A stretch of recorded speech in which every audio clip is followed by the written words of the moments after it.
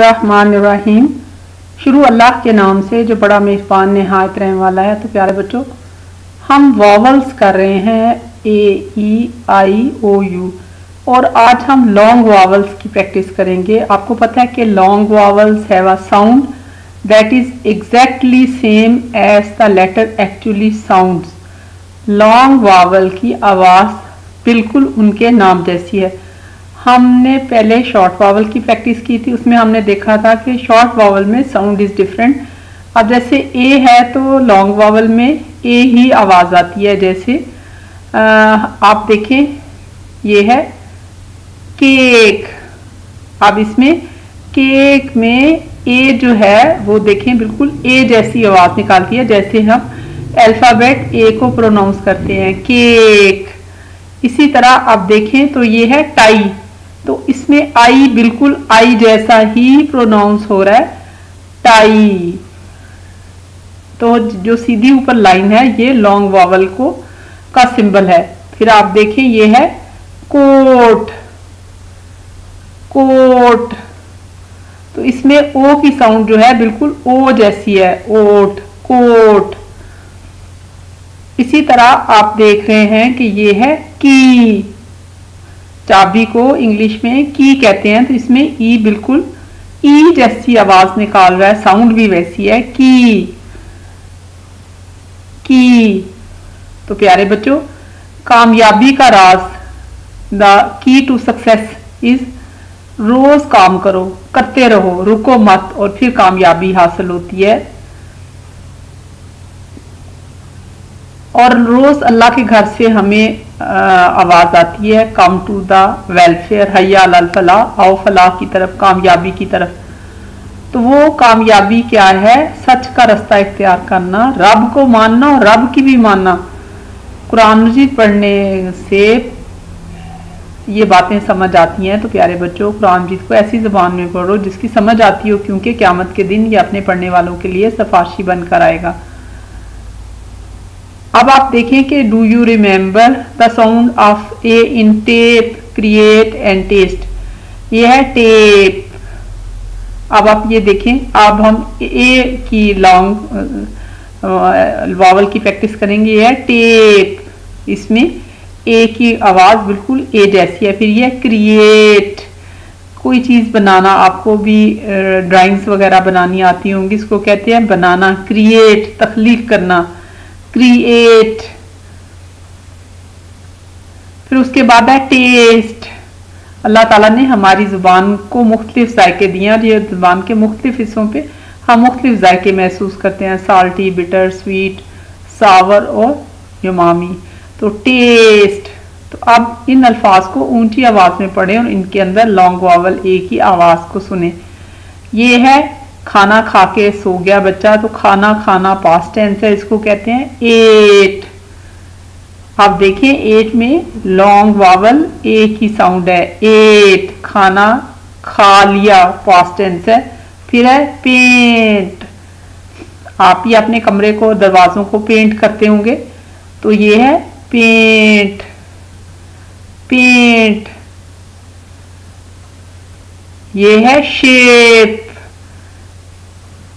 Shape आप देखें, इसमें भी ए की लॉन्ग वावल साउंड है। शेप एप इसी तरह everything we see in the world around us has a shape आप इर्द गिर्द देखें, हर चीज़ की कोई ना कोई शक्ल है। जैसे राउंड है चकोर है, मुस्ततील है। तो ये सारी और ज्योमेट्री में shape can be defined as the form of an object और इट्स आउटलाइन अब यहाँ पे ओपन शेप है जो एक तरफ़ से खुली है और एक क्लोज्ड शेप है। इसी तरह ये स्क्वायर है टू डायमेंशनल शेप है जिसकी दो सतह हैं और ये थ्री डायमेंशनल शेप है। और ये हमारे पास मुख्तलिफ़ शेप्स के नाम है circle semi circle oval square triangle फिर है चेंज चेंज कहते हैं तब्दीली को। अगर आप अपने चेंज आप एक पहले रास्ते पे चल रहे हैं, उसको तब दूसरा रास्ता इख्तियार करें तो हम कहेंगे चेंज तो प्यारे बच्चों, मैं दुनिया तो तब्दील नहीं कर सकता, लेकिन अपने आप को तब्दील कर सकता हूँ। तो असल में हमारा बस सिर्फ़ अपने ऊपर ही चलता है। अगर हम अपने ऊपर फोकस करें, अपनी सोचों को तब्दील करें, अपने ख्याल को तब्दील करें और रोज़ अल्लाह से हम दुआ मांगते हैं इहद नसरतमस्तकीम शो आस्ता स्ट्रेट पाथ, अल्लाह हमें सीधा रास्ता दिखा। तो वो सीधा रास्ता सच का रास्ता है और अल्लाह को हर वक्त ये एहसास रखना कि अल्लाह मुझे देख रहा है। वो सच का रास्ता कैसे पता चलता है? कुरान जीत पढ़ने से। प्यारे बच्चों, कुरान जीत को तर्जमे के साथ पढ़ो। ऐसी ज़ुबान में पढ़ो जो समझ आती हो। ये है ग्रेट। आप कोई काम बहुत अच्छा करे तो आपको खुशी होती है। आप कहते हैं, ग्रेट, बहुत अच्छा। ग्रेट। और ये है मे मई मई का महीना इंग्लिश में, मई के महीने को जब फूल हर तरफ़ खिले होते हैं, इसको कहते हैं मे मे ये क्या है? आजकल डाकिए की बजाय ईमेल होती है। हम कंप्यूटर पे बैठते हैं, अपना खोलते हैं तो यह मेल पहले खत पोस्ट के ज़रिए आते थे, डाकिया डाल के जाता था इसको। डाक को मेल कहते हैं। फिर यह प्लेन। वैसे एरोप्लेन होता है, लेकिन शॉर्ट में इसको प्लेन भी कहते हैं, हवाई जहाज़ को। तो इसमें भी एक ही लॉन्ग वावल साउंड है, प्लेन। प्लेन। किसी चीज़ को पकड़ना हो तो कहते हैं टेक तो टेक तो आप देख रहे हैं टेक में भी ए की लॉन्ग वावल साउंड है। टेक ये है ब्रेक कोई चीज़ टूट जाए तो उसको कहते हैं ब्रेक तो इसमें भी ए की लॉन्ग वावल साउंड है। ब्रेक ब्रेक और ये है डे दिन सुबह चढ़ता है तो सूरज निकल आता है तो इसको हम कहते हैं डे और डे के में भी लॉन्ग की लॉन्ग वावल ए साउंड है डे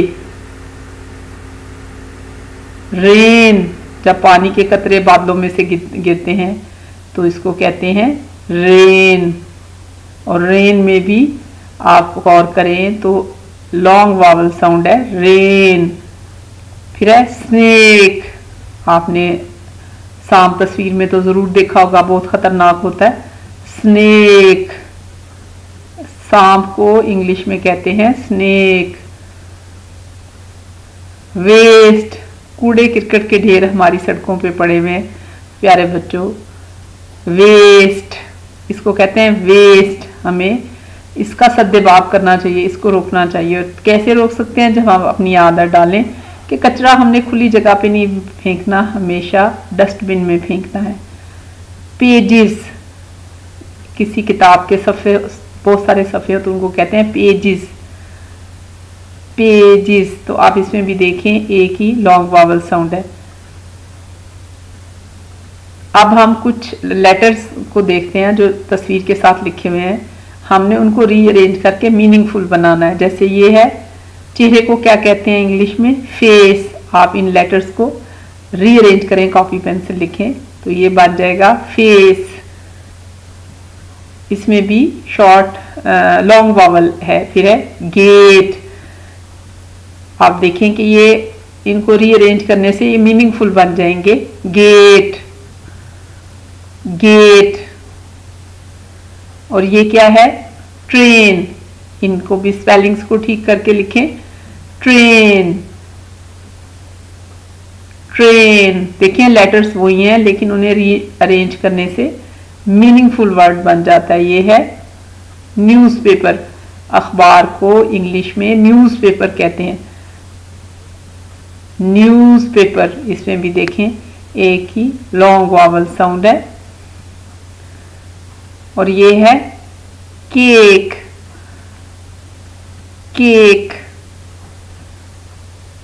केक हमने उन्हीं लेटर्स को रीअरेंज किया तो स्पेलिंग सही हो गए केक और ये क्या है? अंगूरों को इंग्लिश में कहते हैं ग्रेप्स ग्रेप्स और इनको रीअरेंज किया तो ये बन गए ग्रेप्स लेटर्स को। तो प्यारे बच्चों, उम्मीद है आपको आज का लेसन भी पसंद आया होगा।